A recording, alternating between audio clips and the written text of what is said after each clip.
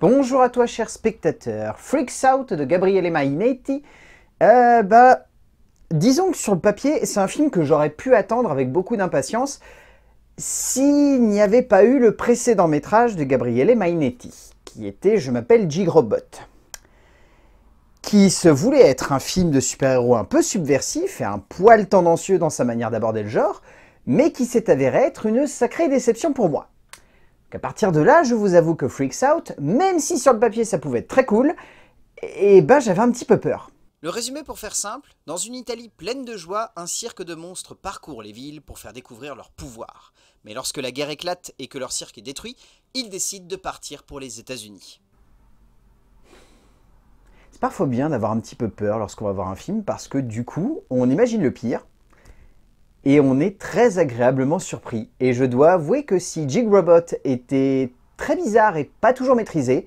et eh ben Mainetti a totalement réussi à aller à l'inverse de ça pour proposer un Freaks Out qui, je trouve, est très créatif dans son geste cinématographique. Bien au-delà de réussir à nous embarquer dans une ambiance qui clairement est rondement menée, bien au-delà de réussir à construire un film qui, je trouve, en termes de jeu avec le genre super-héroïque, mais au-delà de ça, en termes de pur film d'aventure,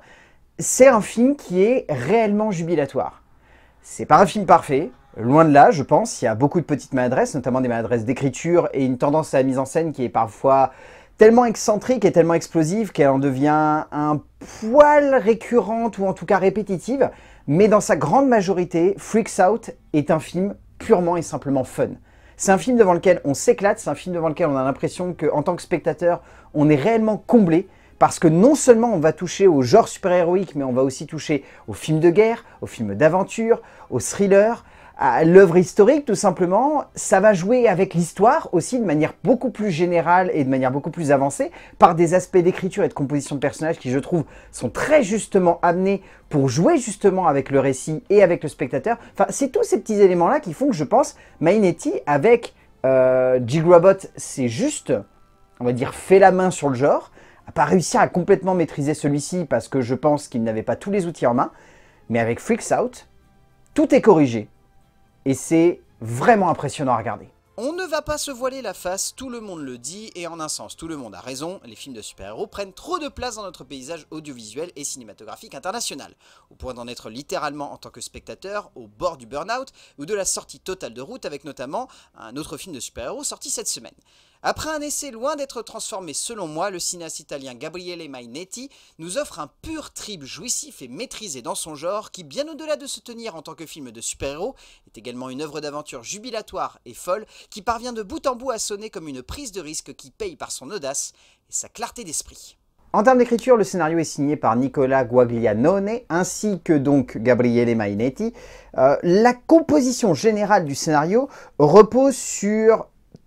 un aspect de cinéma que je trouve assez classique dans son genre. C'est-à-dire que le but, c'est de créer un groupe de personnages, de montrer qu'ils sont déjà bien soudés, et ensuite, de par le biais d'un certain contexte, les amener à se séparer pour mieux se retrouver. C'est un précepte de cinéma, on va dire, d'équipe qui est assez sommaire dans son genre, mais qui est de moins en moins utilisé parce qu'aujourd'hui, vu que la plupart des films super-héroïques ont tendance à réunir des équipes, c'est rare de voir des films avec des équipes déjà formées qui vont se diviser pour ensuite se retrouver on a pu voir ça dans certains gros films, mais avant, il y avait quand même eu une grosse réunion qui avait été faite avant justement de séparer les personnages. Je trouve qu'ici, en termes de pure conception et d'écriture, cette petite idée tient vraiment le scénario.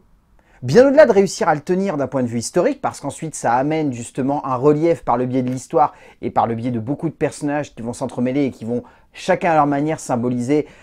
un précepte idéologique de cette période-là, qui était malheureusement une période très sombre, et, j'aime beaucoup ce jeu justement de construire tout un ensemble de personnages qui vont avoir des motivations qui sont radicalement opposées la plupart du temps, mais qui se retrouvent au sein de ce contexte historique comme étant un symbolique de la résistance, comme étant un symbolique de l'état nazi, comme étant un symbolique de la France, comme étant un symbolique de l'Italie dans cette période-là. Enfin, c'est des tout petits trucs comme ça, mais je trouve que dans la manière de les poser, les deux scénaristes ont la grande inventivité et la grande créativité de faire en sorte de parfaitement les mettre en relief et de justement jouer avec ce que l'on pourra du genre. Donc vous voyez,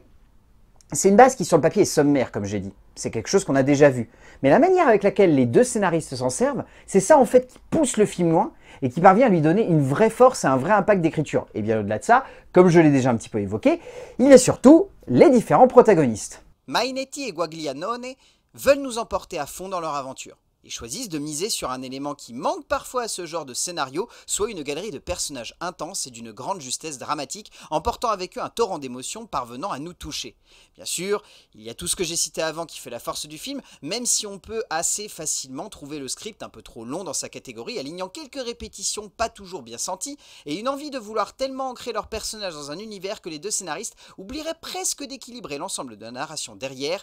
quitte à nous perdre. En termes de mise en scène, c'est indéniable que Mainetti a vraiment appris des erreurs qu'il a pu faire sur Jigrobot. Parce que Jigrobot, ce que je reprochais beaucoup à l'époque, c'était que le film se voulait être très tape à l'œil, se voulait être très, très clinquant, voulait avoir une mise en scène qui soit très explosive, mais n'avait pas, je trouve, la candeur et surtout la justesse d'esprit de construire un récit qui va avec. Or là, vu que le récit, comme on l'a évoqué, il se tient, Mainetti, derrière, il peut se servir de sa mise en scène pour parfaitement épouser ça. Et je trouve que du coup, le film arrive à aller dans des, dans des de cinéma de genre qui sont vraiment, vraiment surprenants. Enfin, je trouve que le film, bien au-delà de son aspect de base qui est le genre super-héroïque, bien au-delà de son aspect de fond qui est le cinéma de, guerre, il y a des éléments de cinéma qui vont être piochés dans plein d'autres genres. Il y a une scène, clairement, si vous me dites que vous ne pensez pas à du western, je, ne vois pas à quoi d'autre on peut penser. C'est une scène quasi à la fin, mais cette scène-là, pour moi, c'est du pur western. Je trouve que toute la partie avec la résistance est d'une générosité en termes de pur cinéma et en termes d'émotion, qui est parfaitement amenée parce que ça construit le personnage de Mathilde. Et je trouve que tous ces petits aspects-là, mêlés en plus au genre du freak show, eh ben ça amène beaucoup de générosité à l'ensemble de l'œuvre. Et ça fait que du coup, on se dit que le film est galvanisé par tout un cinéma, et pas uniquement par le cinéma super-héroïque, comme on pourrait avoir tendance à,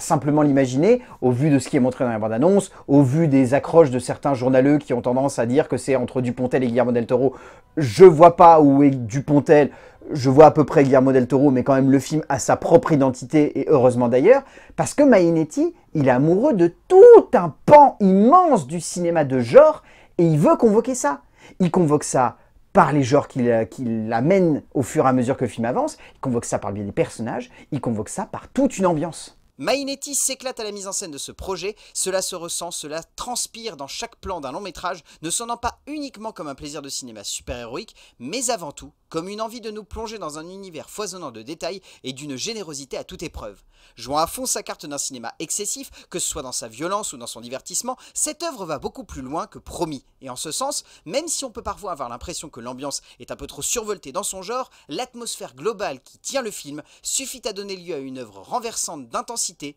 et d'inventivité. En termes de casting, je trouve ce casting quasi parfait. Que ce soit Claudio Santamaria qui dans le rôle de Fulvio est absolument magnifique, que ce soit Pietro Castellito qui dans le rôle de Ciencio est juste parfait, Giancarlo Martini, que ce soit Giorgio Tirabaissa, que ce soit Max Mazzotta, que ce soit Franz Rogowski qu'on a eu l'occasion de saluer dernièrement dans Great Freedom qui ici est encore une fois impérial, que ce soit Eric Godon, que ce soit Anna Tenta, tous les acteurs sont vraiment excellents dans ce film. Je, veux dire, ils sont vraiment tous à fond dans leur personnage. Ils arrivent à être juste à mi-chemin entre la caricature et le surjeu, et, et ça rend le truc explosif, c'est juste parfait. Et ça, ça se ressent notamment dans l'interprétation de la jeune actrice qui campe Mathilde, qui, je trouve, est flamboyante, et vraiment incandescente. Elle emporte hyper bien le personnage, et elle lui donne une évolution au fur et à mesure que le film avance qui est juste magnifique à voir. La jeune Aurora Giovinazzo offre une performance particulièrement délicate et juste dans le rôle de Mathilde, parvenant à donner une jolie évolution à son personnage au fur et à mesure de son avancée dans le récit. Au bout du compte, Freaks Out, eh ben c'est le vrai film de super-héros de la semaine. Oubliez Morbus, clairement, mais jetez Morbus à la poubelle. Freaks Out, c'est le film de super-héros à voir cette semaine. C'est un film qui est généreux, c'est un film qui est explosif, c'est un film qui arrive à être transgressif en termes de cinéma de genre en étant juste trash comme il faut pour réussir à amener plein d'autres choses derrière. C'est un film qui est gorgé de personnages absolument géniaux. C'est un film qui est dirigé par un metteur en scène qui s'est foiré, je pense, sur son premier film et qui ici embrasse tout ce qu'il aime dans le cinéma. Vraiment, Freaks Out de Gabriele Mainetti, foncez le voir. Si vous le regrettez, je sais pas à côté de quoi vous êtes passé, parce que honnêtement, même moi je partais en me disant que ça pouvait ne pas être bon, et au final c'est juste génial à regarder. A plus